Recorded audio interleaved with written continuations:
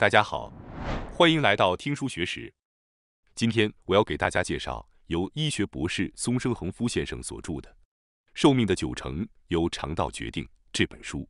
作者松生恒夫先生是一位消化内科的专业医生，至今已经诊治过超过四万名患者，因此被誉为肠道的专家。今天视频的内容包括以下三个部分：第一，一切都是肠道的原因。衰老速度的百分之九十，寿命的百分之九十都由肠道决定。第二，重置肠道的最佳食物，损害肠道的最糟食物大汇总。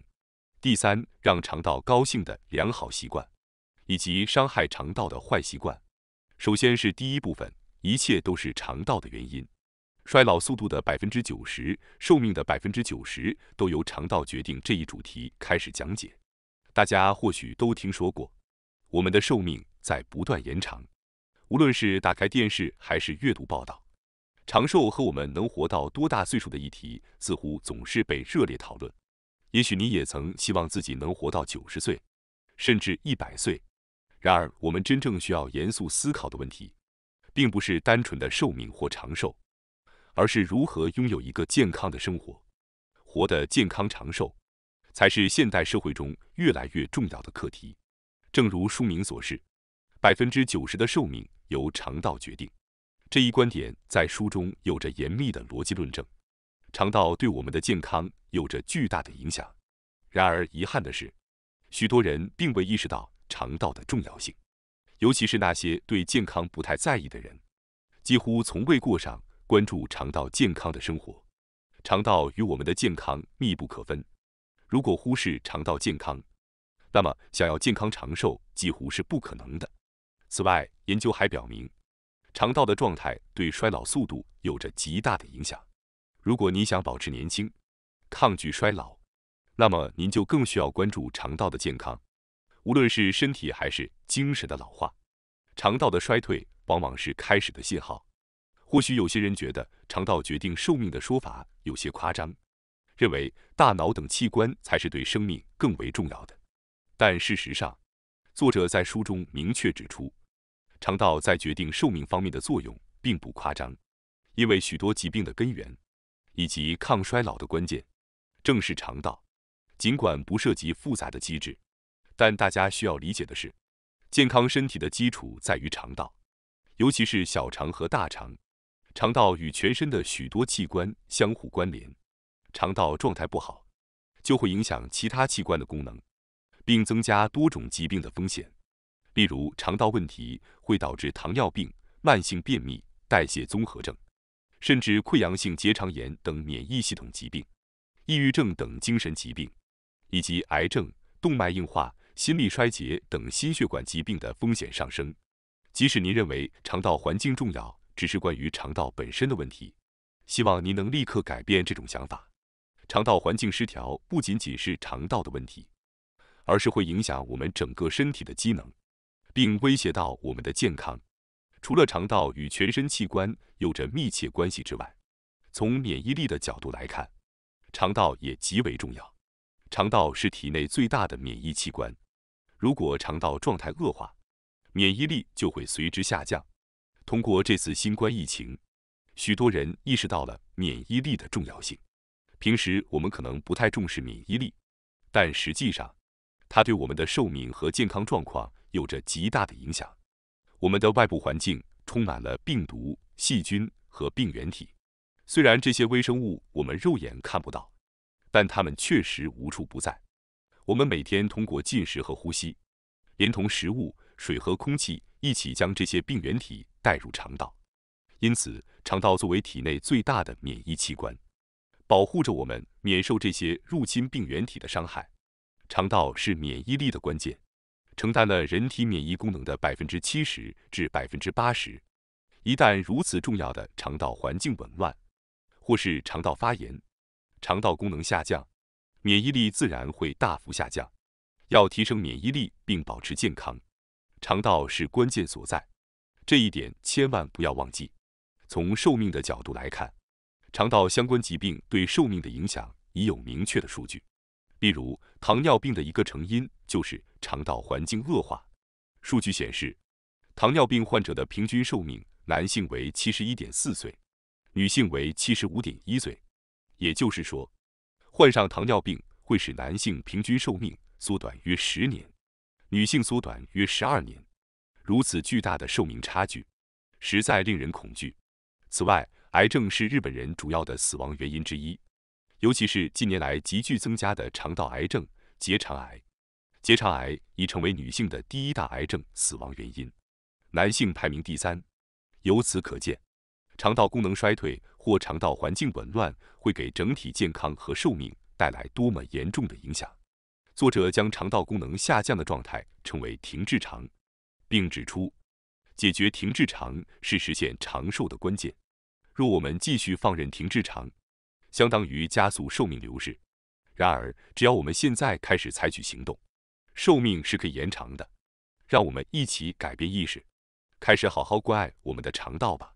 本书对停滞肠这一概念进行了详细解释。所谓停滞肠，指的是肠道功能下降的状态，即使停滞肠患者并未立即出现便秘，其排泄能力也会逐渐减弱，导致废物容易在大肠内堆积。这些废物包括食品添加剂、残留农药、污染物等外来物质。以及体内未消化的食物，它们长期滞留体内。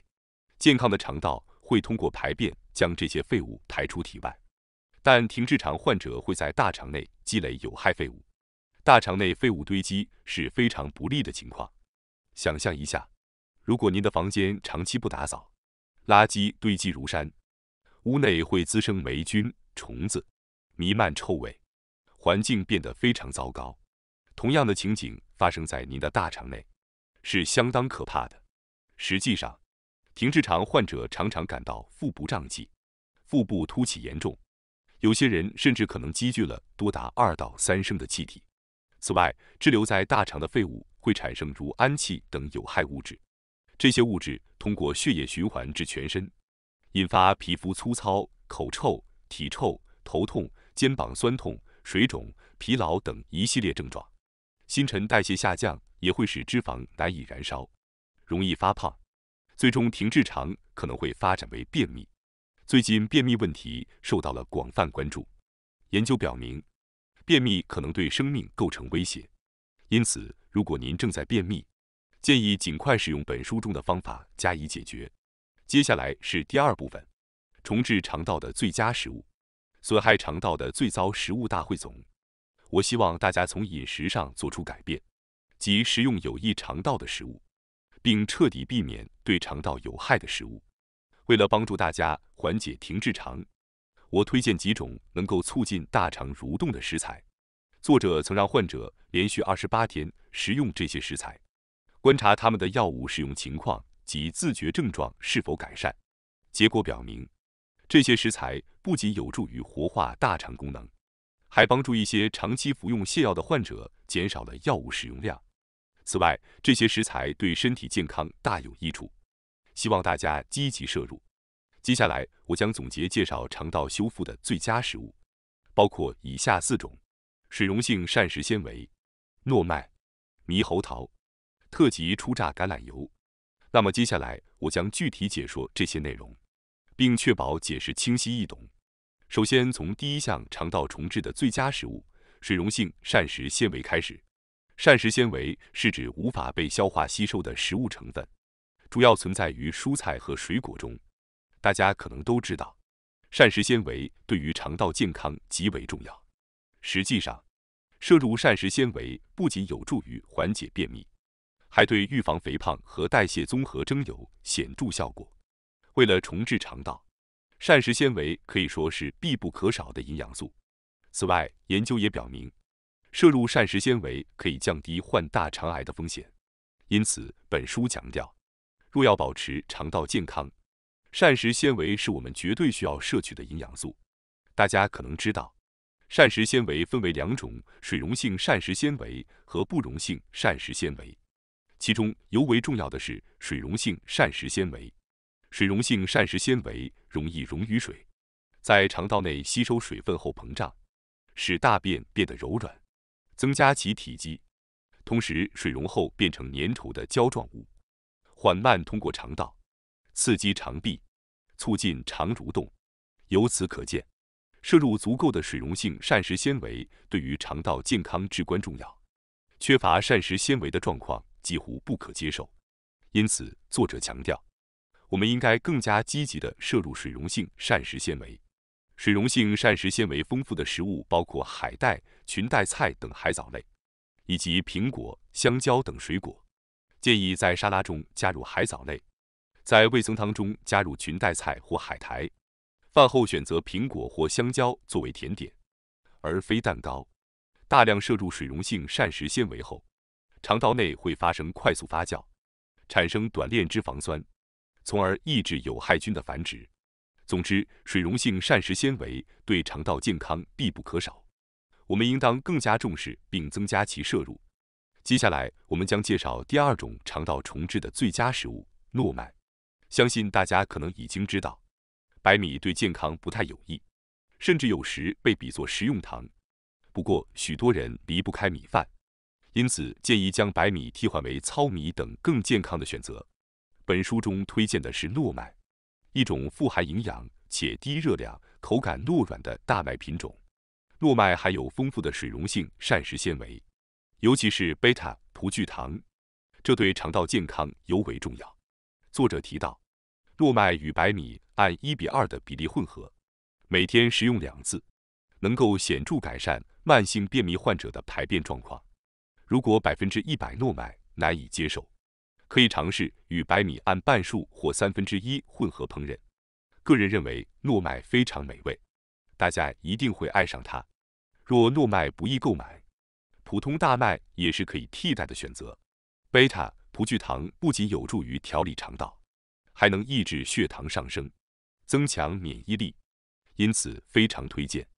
只需将日常的白米部分替换为糯麦，就能轻松补充水溶性膳食纤维。建议大家尝试一下。接下来，我将为大家介绍第三种重置肠道的最佳食物——猕猴桃。实际上，猕猴桃对健康非常有好处，但常常被当作配角，许多人并没有真正重视它。然而，猕猴桃每一百克中含有二点五克食物纤维，而且其可溶性食物纤维与不溶性食物纤维的比例也非常理想。猕猴桃不仅能促进肠道蠕动，还具有抗氧化作用，是对大肠非常友好的水果。曾有一项针对中学生的调查，研究猕猴桃对肠道健康的影响。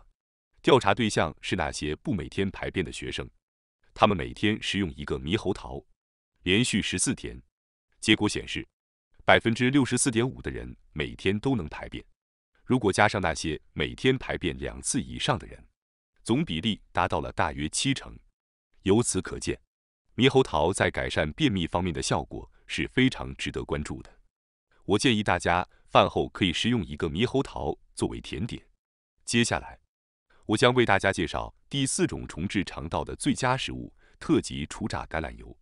大家可能都知道，特级初榨橄榄油对健康有益，而实际上，它不仅对健康有益，对肠道也有好处。特级初榨橄榄油可以刺激大肠。促进排便，但许多人可能并不知道这一点。在希腊，至今还会给便秘的孩子喂一茶匙橄榄油，这是因为橄榄油中富含油酸，这种油酸在小肠中不容易被吸收。正是这种难以吸收的特性，使橄榄油在缓解便秘方面效果显著。作者曾对六十四名长期服用泻药的慢性便秘患者进行了一项研究。每天早晨让他们摄入三十毫升橄榄油，结果显示，六十四人中有六十二人减少了泻药的使用，其中一人成功停止了泻药的使用。即使是那些便秘严重的人，其粪便硬度也得到了改善。由此可见，橄榄油是肠道的有力帮手。除了肠道，橄榄油还能带来许多其他健康益处。目前已经有大量证据证明了这一点。然而，现实中，能够坚持每天摄入橄榄油的人并不多，因此建议大家在炒菜时使用橄榄油，或者把它淋在沙拉上，或添加到其他菜肴中，尽量让橄榄油成为日常饮食的一部分。通过将这些食物纳入您的餐桌，肠道将得以重置，我强烈建议大家尝试一下。接下来，我将为大家介绍一些对肠道有害的食物。如果您能摄入对肠道有益的食物，同时避免对肠道有害的食物，那么您的肠道将会处于最佳状态。简单来说，肠道有害的食物包括加工食品、快餐和方便食品等。这些食物虽然方便且价格低廉，但会给肠道带来伤害。我理解大家可能因为忙碌而依赖这些食物，但我希望大家尽量减少它们的摄入量。比如，很多快餐是油炸食品，油炸意味着将油加热至一百八十摄氏度左右的高温，随着油温升高，油会与空气中的氧气结合，发生氧化并裂化，产生有害的过氧化脂质。这可能会对细胞的 DNA 造成损伤，甚至与大肠癌的发病有关。此外，快餐中的炸鸡和薯条通常使用起酥油，而起酥油的加工过程中会产生反式脂肪酸，这种脂肪酸会增加坏胆固醇，并减少好胆固醇。此外，快餐和加工食品的食物纤维含量普遍较低，从这个角度来看，它们对肠道几乎没有任何好处。因此，如果你想要真正关爱您的肠道，这类方便廉价的食物应该是您首先要避免的。工作一天回家后，用便利店的便当或方便食品应付一餐，虽然很简单，但您可能需要重新审视这种生活方式。努力工作固然值得称赞，但如果因此损害了健康，那么一切将失去意义。除了这些便利食品，糖也是对肠道非常不利的。很多人都喜欢吃甜食，但它们会严重破坏肠道健康，因此应该尽量避免。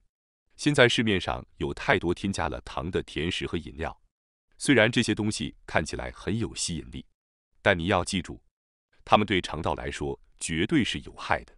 更具体的说，这些甜食会成为坏菌和肠道真菌的食物。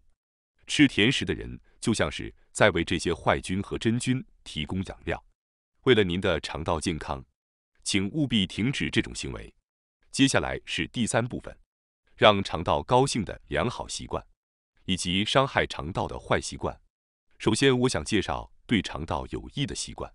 最想推荐的就是步行。可能有些人已经知道，运动对肠道有良好的影响，但本书提到的目的是解决停滞肠、肠道蠕动迟缓问题，因此并不需要剧烈的运动。作为适合重置肠道的运动，作者推荐水中步行、瑜伽和拉伸等。然而，考虑到经济条件、年龄和性别的因素，最推荐的还是步行。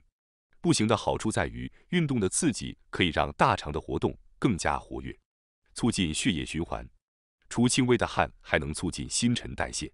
步行还可以让人放松，使副交感神经占主导地位，进而对大肠产生良好的影响。因此，我希望大家都能进行步行运动。不过，我知道有些人可能无法轻松行走，比如年长者。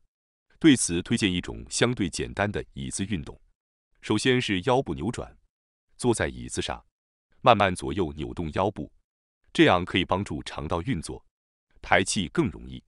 此外，还推荐脚摆动运动，非常简单，坐在椅子上，左右腿从膝盖以下交替摆动即可。这是一种非常简单的运动，随时随地都能做，还能有效刺激肠道。接下来，让我来看看一些肠道不喜欢的坏习惯。这里要强调的肠道不良习惯就是让肚子受凉，比如在炎热的夏天吃冰激凌或喝冷饮，虽然能解暑，但很多人可能都有肚子不舒服的经历。受凉会直接导致大肠功能的下降，这一点显而易见。为了避免肚子受凉，建议大家不要吃或喝太多冰冷的东西。平时习惯从冰箱里拿出冷饮的人，特别要注意。理想情况下，应该喝常温的水或茶，甚至喝热饮，效果会更好。此外，外出就餐时，通常会提供加冰的饮品。为了不让肚子受凉，最好要求不加冰。除了不吃和不喝冷的东西，我还希望大家能注意温差的变化。比如炎热的夏天，从外面回到空调房间，突然感到一阵寒意，随后感到肚子不适，这种情况很多人都经历过。温差越大，身体和肚子越容易受凉，这显然是导致停滞肠或便秘的原因之一。实际上，作者在他的诊所中发现，温差大的时候，前来就诊的患者数量会增加，尤其是在现代社会，空调的普及使室内外的温差变得很大。夏天时，从冰凉的室内突然进入炎热的室外，或从炎热的室外回到冰冷的室内，都会让大肠受凉。因此，大家需要特别注意温差问题。如果你已经意识到自己肚子受凉了，那么可以通过食用特级初榨橄榄油来温暖大肠。比如在汤中加入橄榄油后饮用，不仅能提升体温，还能长时间保持较高的体温。实验已经证明了这一点。除了橄榄油、辣椒、生姜等具有保温效果的食材，也能很好的融入饮食中，这样可以防止身体受凉，并从内在激活肠道的运动。我强烈建议大家积极运用这些方法。另外，作为温暖肠道的方法，建议每天坚持泡澡。或进行半身浴。最后，我想通知大家一下，我们还有一个新频道——学识 Plus。该频道将每天提供更为精简的视频内容，并增加有关论文等相关有益知识的解说。如果您感兴趣的话，请通过概要栏中的链接进行查看并订阅。感谢大家收看今天的节目。如果你喜欢我们分享的内容，记得点赞、订阅并开启小铃铛通知，第一时间获取我们的更新。在下次的节目中，我们将继续为大家分享更多有益的书籍。再次感谢大家的支持，我们下期再见。